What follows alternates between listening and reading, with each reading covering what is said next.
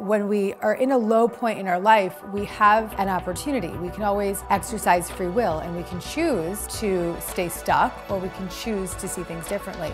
I'm Gabrielle Bernstein and I rise for self.